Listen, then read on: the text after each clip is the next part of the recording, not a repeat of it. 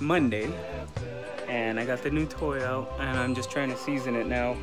Um, get the heats on high, try to get all the manufactured paint dust, all that stuff burnt off. Um, but I'm also getting some Kiawe wood started because I'm gonna smoke uh, a little bit of chicken and just we'll see how it goes.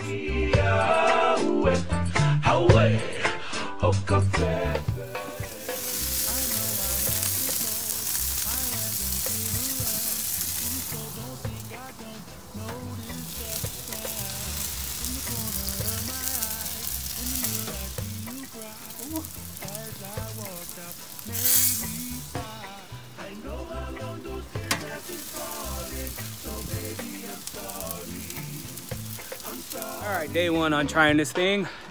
And I have to say, uh, so used to having so much buildup in a grill that it takes a minute for it to get going. This one started started off hot right from the get-go. So learning, learning curve, learning curve. Got it. Check this out. Ooh, baby.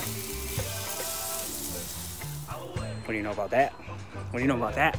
Rentals are away. The kids come out to play, so we all came over. Mom and pops is gone, and we're raiding their house. So, yeah.